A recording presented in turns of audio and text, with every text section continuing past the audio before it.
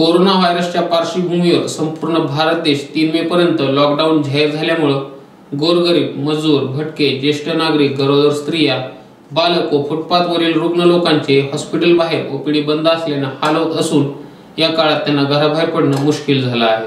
ही बाब ओळखून गेल्या तेवीस वर्षापासून सामाजिक काम करणाऱ्या मंजित सिंह विरदी फाउंडेशननं या गरीब रुग्णांची अडचण ओळखून त्यांना घरपोच औषधे देण्याची व्यवस्था केली आहे. तरी रुग्णांनी फाउंडेशनच्या मोबाईल क्रमांकावर संपर्क साधून सेवेचा लाभ घ्यावा व घराबाहेर न पडता लॉकडाऊन काळात सरकारला सहकार्य करावं तसेच गरजू व्यक्तींसाठी गुरुद्वारा व महावीर फाउंडेशनच्या सहयोगानं जेवणाची व्यवस्था लॉकडाऊन काळापासून सुरू असून कोणीही उपाशी न राहता सुरक्षित राहण्यासाठी मदतीचं आवाहन म्हणजे सिंह यांनी केलं आहे.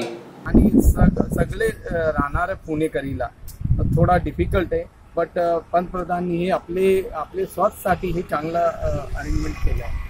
तर सर्व लोग है। अ, सभी लोग घर में है और मैं चाहूँगा कि सब लोग घर में रहें और स्वस्थ रहें। और सर हमारा फाउंडेशन ये जो तेईस साल से काम कर रहा है हाँ जी हम चाहते हैं कि हमारा फाउंडेशन इसी तरह के से काम करता रहे। ये जो मेडिकल्स का बहुत मेडिसिन का बहुत रिक्वायरमेंट लगता है तो घर के कोई भी सीनियर सिटीजन या बच्चे बाहर नहीं जा पाते हैं। तो हम लोगों ने हमारा जो नंबर है मोबाइल नंबर ये वायरल किया है सब जगह। कि किसी को भी, कोई भी घर के नागरिक को दवाई की अगर ज़रूरत पड़ती है तो प्लीज़ हमारे को कांटेक्ट करो। और कोई बहन प्रेग्नेंट रहती है, कोई बच्चा बीमार रहता है, कोई सीनियर सिटीजन बीमार रहता है तो दवाई की दुकान तक पहुँच नहीं पाते हैं। तो हम लोग चाहते हैं कि हम उनके दरवाजे तक पहुँचे और उनको दवाई दें। और ये सेवा है सर ये।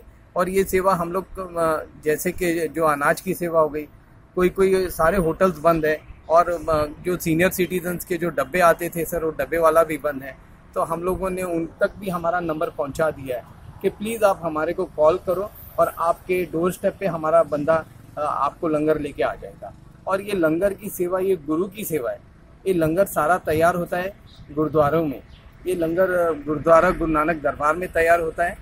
गुरुद्वारा गणेश पेट गुरुद्वारा सिंह सभा गुरुद्वारा वहाँ तैयार होता है। आकुर्डी गुरुद्वारा वहाँ तैयार होता है। औन के गुरुद्वारा वहाँ तैयार होता और इसी में इसी में सबके जो अध्यक्ष हैं, इन्होंने कॉपरेट किया है, सेवादार ने कॉपरेट किया है, उनकी कमेटी ने कॉपरेट किया है तो हम लोग सेवा कर पाते हैं। और इन्होंने हमारे फाउंडेशन को चुना है सेवा के लिए, हम उनका धन्यवाद करते हैं।